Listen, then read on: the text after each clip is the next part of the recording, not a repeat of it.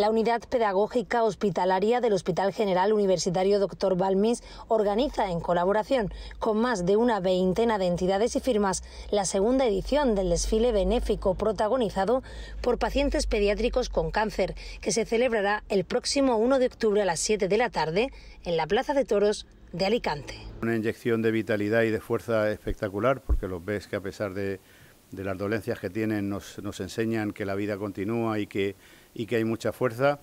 Y, bueno, esta gala también es en, recuerdo de Carlos Sarriá, que era una persona que estuvo allí, que además fue un, un TikToker o un Instagramer importante con, con una, un, seguidores casi del millón, estamos hablando si no del millón de personas, sí de casi del millón, eh, reconocido, eh, aplaudido por su fuerza, por su, su lucha, por su tesón. Este evento pasa a recibir el nombre de Carlos Sarriá en honor a Charlie, el influencer alicantino que visibilizaba su lucha contra el sarcoma de Edwin en su canal de TikTok. Hay una fila cero, eh, la entrada son 10 euros, también está la fila cero. En los carteles está el número de cuenta para aquellos que quieran participar, puesto que esta es una, como digo, una gala benéfica y es importante eh, que todos aportemos nuestro granito de arena para ayudar a mejorar y a investigar. El evento, que surgió a raíz de la pasión de Carlos por la moda, es un desfile que cuenta con modelos de lujo pequeños de la sección de oncología pediátrica del Hospital Dr. Balmis, que desfilarán junto a invitados especiales, entre ellos la pareja de Charlie Nerea Pascual y algunos amigos de profesión como Alan El Ruedas, Marta Casado o Sergio Bolaños, además de otros influencers de la provincia de Alicante. El evento estará presentado por Andrea Compton y Alba Rico.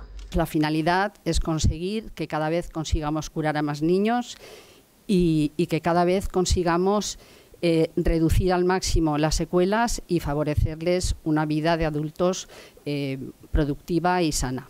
Los beneficios del desfile irán destinados a Aspanión y Payas Hospital, asociaciones sin ánimo de lucro que trabajan a diario para atender las necesidades de los menores de oncología pediátrica del Hospital Dr. Balmis y de sus familias. Además, se destinará una parte del beneficio a la investigación del sarcoma de Edwin. Eh, nosotros venimos en representación de la UPH y bueno, yo creo que es muy importante el papel que juega la unidad en en la vida de los niños que estamos pasando por esta enfermedad tan difícil, porque nos alegra, nos alegra el día, nos alegra el proceso, que es un proceso difícil, tanto los profesores como los payasos, los voluntarios, toda la unidad, y es increíble el papel que juega porque somos más felices en esta situación tan difícil gracias a todos ellos. Es un homenaje eh, dirigido a Carlos, que yo tuve la suerte de conocerlo y la verdad que él me ayudó muchísimo a integrarme en, el aula y todo y me ayudó muchísimo a asimilar lo que tengo.